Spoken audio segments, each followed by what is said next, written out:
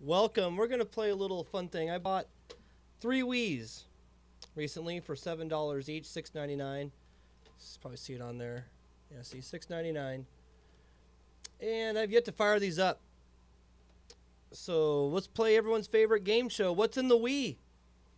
I mean, every time I buy a Wii, it seems like there's something in the console. There's something in the disc. So I've got my backyard Wii, my modded one set up here, and uh, just make sure everything's hunky dory. Yeah, you can make sure it's detecting that. I don't know. Eh, It don't matter. Anyways, nothing in this Wii because it's my backyard Wii. So we know this one's fine and clear. See? Soft modded, some stickers on it, some owl stickers. I couldn't take those off. This thing's a little junky, but I like it. Let's see our first Wii. Does it have a game or not? Is your chance to place your bets. Put the timer on 10.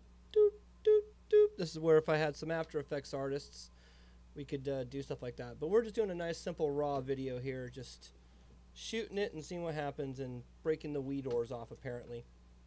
Let's see what's in this Wii. Or is there downloadable games and such? Let's find out.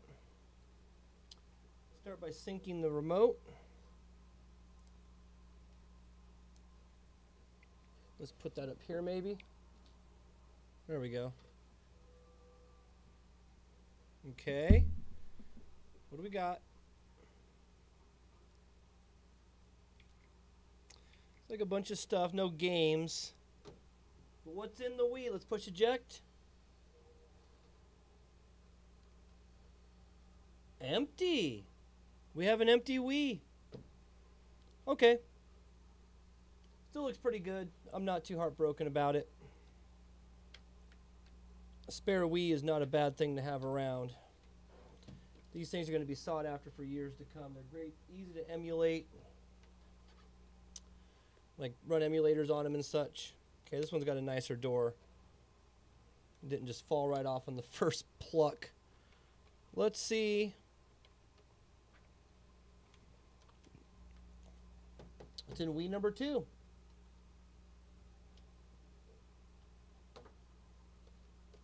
There we go. Sync them up. And what do we got? Oh, I see a disc, and we got something Metroid on here? What is this? A preview. Metroid, probably Metroid Prime 3 preview. So it looks like this has Mario Kart Wii in it. Oh, the eject button's not working. Are you serious? Oh, there it is. If you guessed Mario Kart Wii, it's actually a nice copy. It's not too thrashed. It's pretty good. Well, there you go. That made it worth the $21. And you get Wii's. Doesn't look like this one's been used too much except for a Metroid preview. I'm sure we could go through all the game saves and stuff, but that's not what we're here today. Today's game is what's in the Wii. So let's see what's in our third and final Wii. This wasn't going to be a very long video. I just wanted to have something kind of fun to do. I'm in a new space, and it just seemed like a good excuse to film something kind of fun. I don't know about you, but I love finding Wii's in the wild. I think the best thing we ever found so far is Mario Party 8. Okay, here's the last Wii. Okay. Sync it up so we can get into the menu. Oh, we gotta wait a couple minutes. Oh, and this one has a game in it. Doesn't look like uh, this was used much. It even has the delete this after you've done setting up your video. Like this looks like someone just used it for a YouTube and Amazon, Netflix, and Hulu machine. This one has Fling Smash in it. And this is one of those one those black Game Cubes. Yep, there it is, Fling Smash. Not too bad a shape. And there's Fling Smash. If you guess Fling Smash and Mario Kart Wii, you've earned five points.